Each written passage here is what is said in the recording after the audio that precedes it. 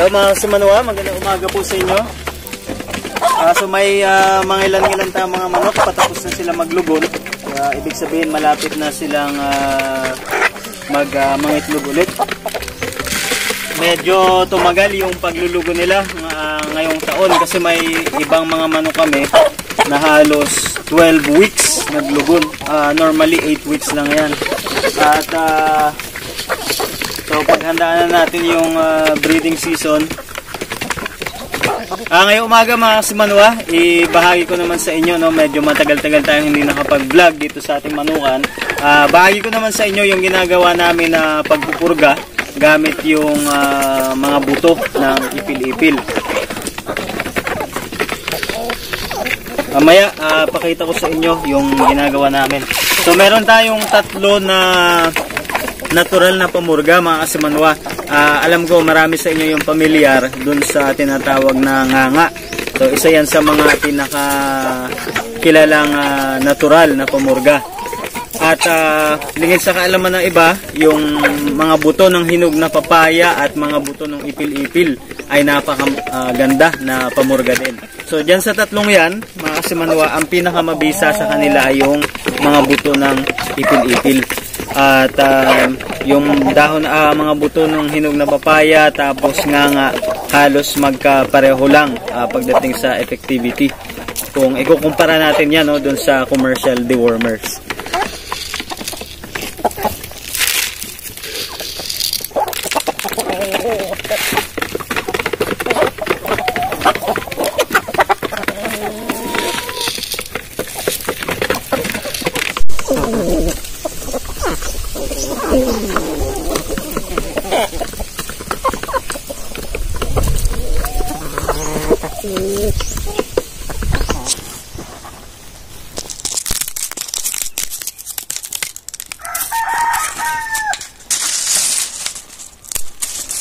Sa paggamit ng mga buto na ipil-ipil ah, bilang pamurga mga kasimanwa, ang kailangan natin dyan ay yung ano, tuyo na bunga. Ah, hindi pwede yung green pa siya. Tapos tanggalin na natin yung mga buto at ah, ibilad sa araw kahit ah, isang oras lang. Ang purpose ng pagbibilad mga kasimanwa para matanggal yung moisture dun sa buto no bago natin siya ah, pinuhin. Mamaya hapon pa purgahin na natin yung ating mga 6 weeks old na sisiw. So, yan. Um, siya nga pala mga kasimanwa, dun sa mga nagtatanong, no, kung kailan pwedeng purgahin yung mga manok natin. Pagdating ng 6 weeks nila, 6 weeks old, pwede na yan mga kasimanwa. Uh, huwag nung bago mag 6 weeks old kasi mura pa yung bituka ng mga yan at uh, malamang sa malamang kapag pinurga natin ng ganun kaaga maluluto yung mga bituka nila. Okay? At uh, baka problema pa yung uh, mangyari pag uh, pinurga natin ng wala pa silang 6 weeks old. At doon naman sa mga nag uh, tan- tanong din kung ilang beses pwedeng purgahin yung mga manok. Ang ginagawa namin ay apat na beses, so quarterly, uh, dahil nga naka-range yung mga manok namin, mga kasimanwa, no? Pero kung halimbawa na ang ginagawa nyo ay confinement, ibig sabihin nakakulong lang yung mga manok ninyo sa breeding pen nila, kahit twice a year lang yan, po na mga kasimanwa. So kami, uh, pagdating ng uh, January, tas April, uh, July, October. So yan, yan yung mga buwan na nagpupurga kami dahil yung mga manok namin pagala-gala lang sila diyan no dito sa area namin at madalas pa, nagbubungkal ng lupa kung ano-anong nakakain nila. So mas prone sila doon sa uh, parasites, uh, intestinal worms. Ayun, so yun na mga simanwa ay practice lang namin, no? Depende na yan sa inyo kung gagayahin ninyo. Uh, paunawa ko lang po, ako ay hindi agriculturist, no, mga simanwa, hindi din ako veterinaryo. So, lahat ng binabahagi namin dito sa inyo ay uh, base lang sa kung ano yung ginagawa talaga namin. Ito na lahat mga kasimanwa yung nakuha nating buto uh, galing dito sa ganito kadami oh, na bunga ng mga ipil-ipil. Pero okay na yan kasi yung pupurgahin naman natin ng mga sisiw Uh, walong peraso lang sila, mga natira yun sa huling batch. Kasi yung iba, uh, nabili na. So, ang gagawin natin dito mga kasimanwa, bilad lang natin sa araw. Uh, tapos mamayang hapon, pa kain na natin no, doon sa mga alaga nating sisiw. Uh, bale yung hinog na papaya, mga kasimanwa, pareho lang siya ng preparation nitong mga buto ng ipil-ipil. So yung mga buto naman ng pinahinog nyong papaya, ibibilad nyo lang din. Ngayon, dun sa nganga, medyo matagal yun yung proseso nun kasi kailangan nyo papatuyuin kung hindi pa siya tuyo. So, siguro mga one week uh, bago matuyo yun. Tapos, itatagtarin uh, nyo para mas mabilis siyang mapino. Kasi ito, ang ginagawa namin, sa blender lang namin pinipino yan. At uh, ang ginagawa kasi nung marami, mga semano sa nganga, hinahati lang siya sa walo yung isang buong buto no? Uh, bunga hinahati sa walo o apat tapos ipatuka. Ang disadvantage lang pag ganun mga kasimanwa pag hindi naubos sayang.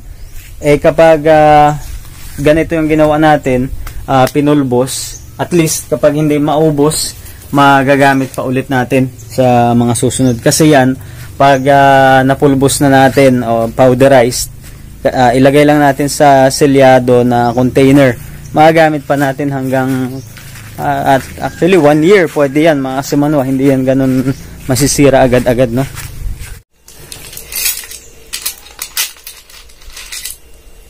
Tanghalian muna tayo mga simanwa ito ulam oh. uh, ginatang sikar-sikar. Pinanihian to. Maliliit lang siya mga simanwa kasi yung ganito nakukuha lang sa mababaw na baybayin kapag mababa yung tubig sa dagat. Kapag hunas.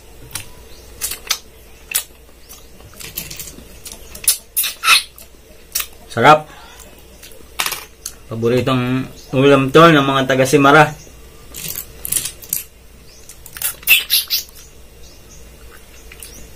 so yung laman niya mga simano o ganyan lang yung mas malalaki dito na nakukuha sa malalim na tubig, liswi ang tawag sa amin.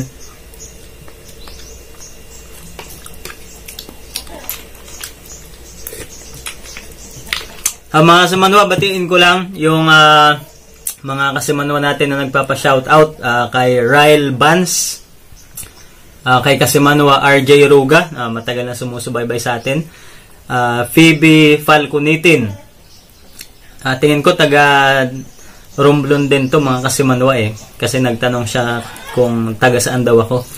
Uh, kay Carolina Ronda. Uh, batiin ko na rin yung mga pinsan ko kay Ate Yoli La Forteza. Uh, kay Kuya Arnel Amar, Ate Yen Yen Falconitin at sa aking kapatid uh, na nasa Batangas City. Kay Divine Grace at kay Jeremy na nasa Laguna. Uh, shout out rin kay Auto Electrician na mahilig sa manok. Subscribe po kayo sa channel niya mga simanwa.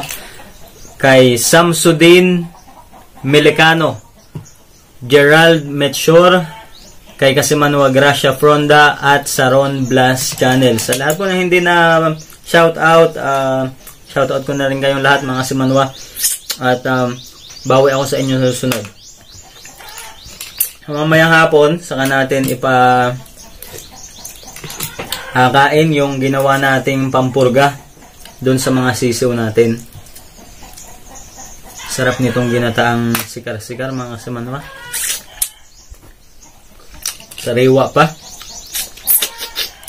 Tapos sinaluan lang natin ng malunggay.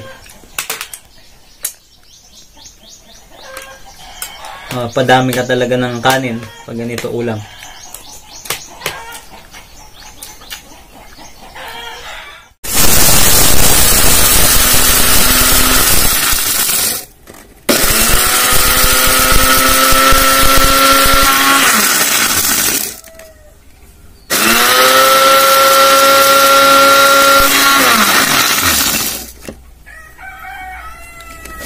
Ayan, so yung uh, dami ng pagbibigay nito, mga kasimanwa ay nakadepende, no? So kung ilang o gaano kabigat yung mga manok natin. So sinusunod natin yung 6 grams uh, per body weight. So ibig sabihin kung uh, nasa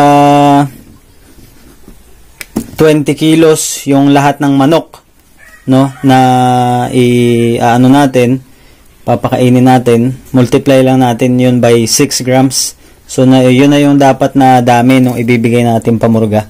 Ito konti lang to mga kasimanwa kasi mga sisiw lang naman yun. At uh, walong peraso lang sila. So uh, ito ay ipapakain natin lahat. Minsan nga tinatansya na lang namin yung dami. Bago natin ipakain to sa mga manok natin, so dapat sila ay hindi pinakain sa umaga. Dapat gutumin talaga nang sa ganun maubos yung uh, pamurgang ibibigay natin. Ito na yung ating mga sisiw, mga sumanwa. Oh. So kanina umaga, uh, kinulong natin sila na sa ganun di sila makapanginain. At uh, siguradong gutom na yung mga yan.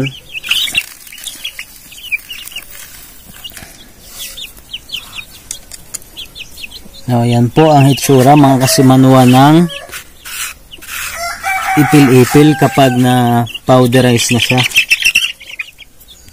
Yan, bigay na natin dito sa mga sisiw.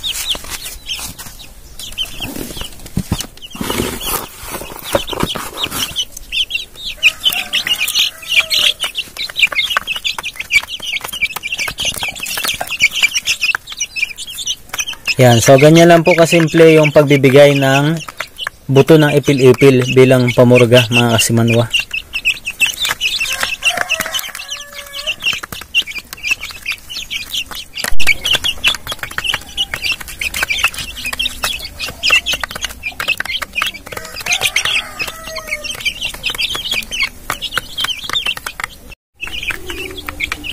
Mabangong amoy niya mga kasimanwa.